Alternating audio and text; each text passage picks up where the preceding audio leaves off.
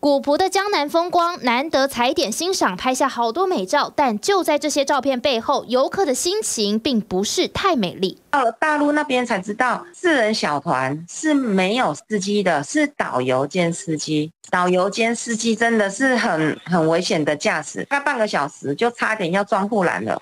这名游客花了一万两千九百元参加旅行社组的六天五夜大陆江南自由行，因为台湾附录的禁团令还没解除，没有台湾的领队随行，只有大陆的导游，只是还身兼司机。游客控诉，不止路上遇到不少状况，甚至还差点被丢包。我就又再跟台湾的旅行社反映了，大陆导游他就生气了，他说我客诉他。如果我不想跟他走，那他明天早上就载我们到高铁。最后，这名游客不愿意支付一千八百元的小费，引发导游不满。不过，对此台湾负责的旅行社表示，并没有违反出团，一万两千多元是只有机票、住宿、行程都是免费招待的。也解释二十人以内都是司机兼导游。另外还澄清，导游会态度不好，是因为旅客先找茬。现在到大陆旅游只能自由行，不过还是有不少台湾旅行社会组团接客，只是呢是在大陆。安排好导游带你吃喝完了。台湾的附录禁团令还没解除，让旅行社少了不少生意，才会出现这样游走在灰色地带的偷走团。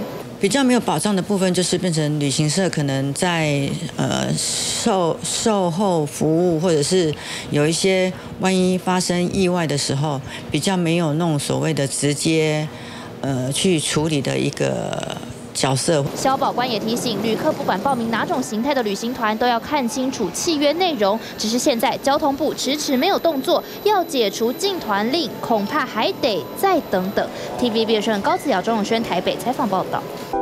想看最完整的新闻内容，记得下载 TVBS 新闻网 APP。